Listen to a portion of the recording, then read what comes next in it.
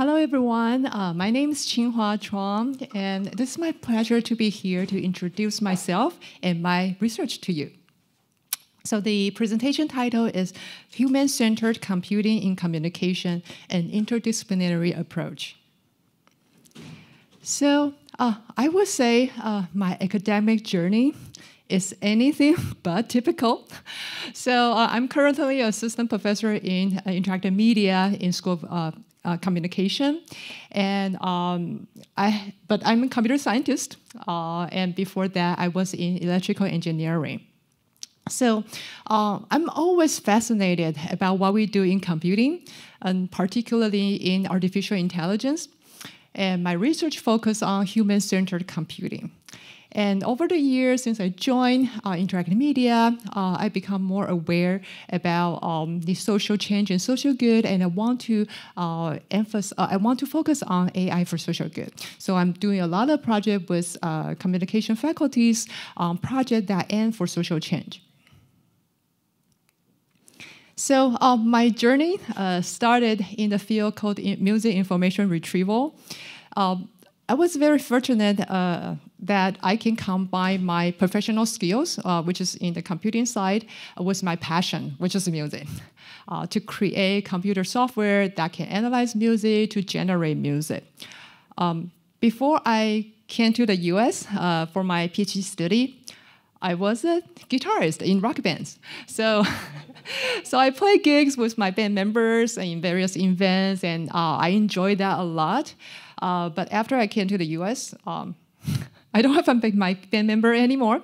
So uh, that actually inspired me to create a computer system that can generate music in a particular style, and which became my uh, dissertation. So um, uh, throughout the year, my well, my research started uh, with my passion, which is music, and I feel that by doing those uh, projects, I reach out to a lot of musicians and people who love music. Um, but I want to do, I want to reach out more people. So uh, I started another direction, uh, which is uh, the gesture recognition for American Sign Language. And this is actually, this project became a, a turning point of my career. Um, so in the beginning, uh, just like everybody uh, here, we we uh, we do. Um, I was trying to improve the accuracy of the recognition. Uh, so we use uh, computer vision technique. We use uh, the data from the sensors and so on. Um, but after that, I had a collaborator who is in deaf education, and through her, I get to touch with people in the deaf community. And uh, the more I talk to them, the more I found out that's not what they need. So uh, more than 90% of the uh, children who are uh, deaf or hard of hearing, they were born to uh, hearing parents. So they don't have a natural way to communicate with each other. And in that scenario, they don't need a translator.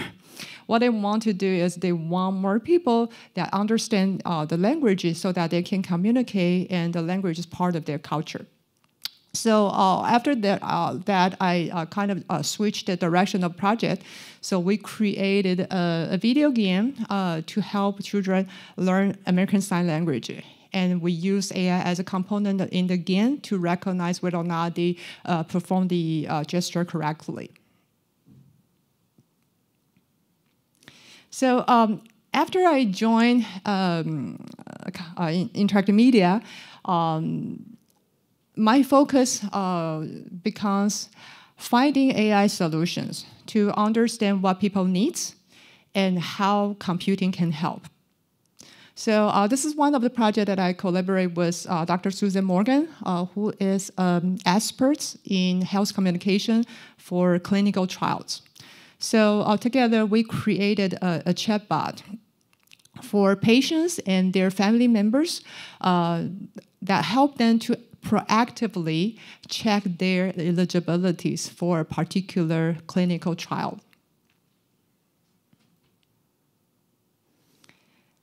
And uh, another project uh, that I work with other faculty in communication and a PhD student is this one. It's also a chatbot in health communication, but this one is for colon health.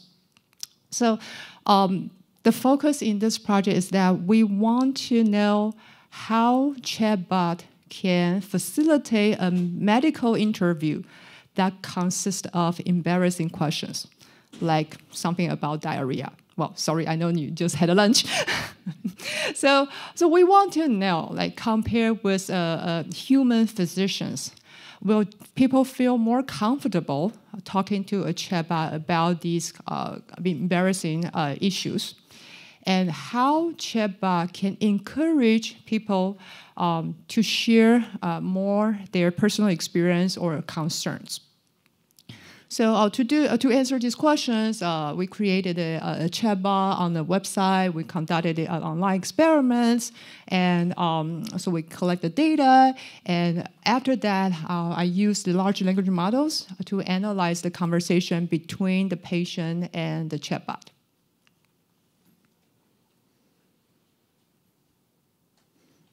Okay, so. Um, here are just some examples of the, the project I do. So the next one is an ongoing uh, project, and this is related to explainable AI. So uh, explainable AI is a quite important and active field in computer science, uh, in, in uh, computer science and in artificial intelligence uh, for uh, the AI transparency, accountability, responsibility. And um, in the AI systems, uh, there are a lot of different types of stakeholders. So for example, the developers, uh, decision makers, and end user, and so on.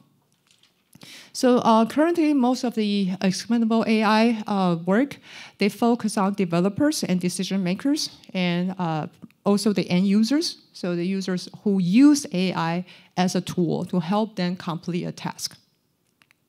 So for this study, uh, we want to focus on a different type of users. Uh, they are called the imposed users.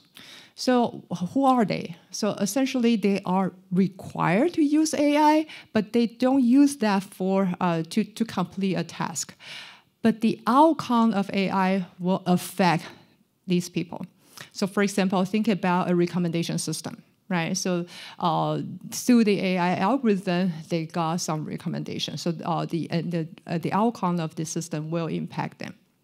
So, uh, so in this study, what we want to know is uh, for the state-of-the-art uh, explainable AI formats, which ones that's more most effective for imposed user to understand why they got a particular decision from the system or recommendation from the system. And the research question two is that we think we want to well we want to explore the um, potential of using explanations to increase people's awareness of algorithmic bias.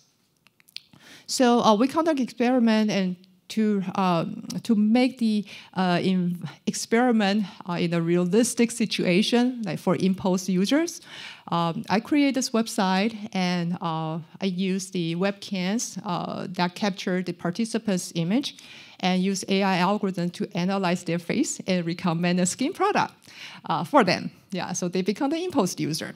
And uh, so, and then we study how that uh, affect their uh, attitude towards the, the, AI. Will the explanation help them understand why they got this recommendation and so on? And based on the result that we found, that the uh, particularly the explanation by examples, this helps the participants be more aware of algorithmic bias. Okay, so uh, one more project. So this is about uh, XR, extended reality smart assistants. And uh, well, some some you hear people call it uh, augmented reality or mixed reality, uh, and uh, here I just call it XR, the extended reality. So uh, for these type of headsets like HoloLens, Magic Leap, uh, in which you can see the physical environment uh, as well as some virtual contents, uh, you, uh, there is a particular type of application that's very popular in the industry, which is the training app.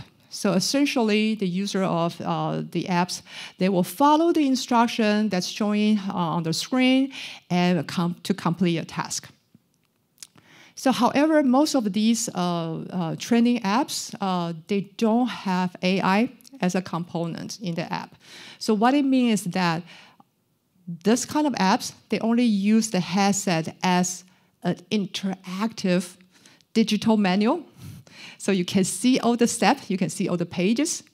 However, whether or not you actually follow the step, you're actually doing things right. That's up to you. So, uh, so this project uh, is about adding AI to uh, these kind of XR training uh, apps.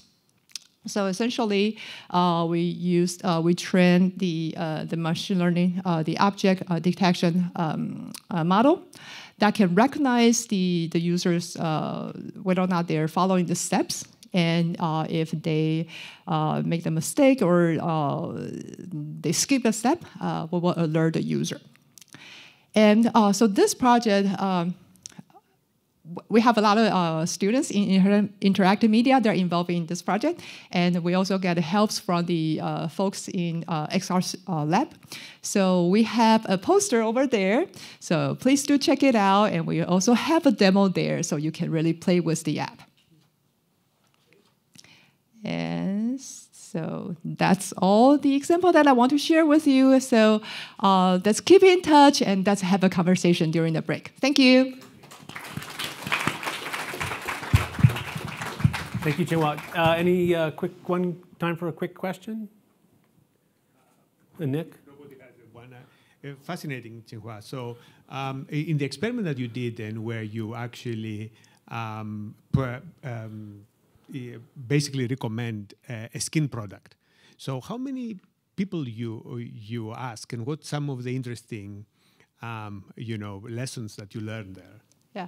So uh, I think the most interesting thing is that uh, in uh, the, in the technical sense, um, uh, we can build a model for anyone in for people in any ages, and uh, identify uh, their age, their gender, and so on.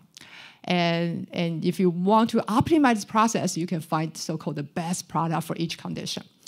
But in social science, however, uh, we have to um, uh, we have to prove the theory using the experiment data. So if we try to optimize that for every single individuals, that won't be an experiment. So the experiments can only have several conditions. You want to control most of the, the variables. So uh, so I had a um, I have to make uh, adjustments. So try to stay true with the uh, the AI model. So uh, I divided people into uh, three different age groups, and for each group, I choose the most common features, uh, patterns, and for one product for each group. Yeah. Thank you. Sure. Yeah, um, so, so with that same example, did you train it completely from data, or did you uh, use some dermatologists or other skin experts to help kind of guide the what to focus on? Yeah. So I completely trained from the data. There's a, a public available data set for uh, age. Yeah, so I use that to train the models to basically, it's not directly related to, to the skin product, but more about guessing the age of that person. so the recommended product, then, then we just, uh, that came from us. We made the decision so that we only have like three different types of uh, products. We try, well, the, actually there's only one type of product, but the exponential has three different types based on the age group. Yeah. But the recommendation is, uh, recommendation has to be the same, so that the, the only thing that changes is the, the explanation. Yeah. Okay, thank you.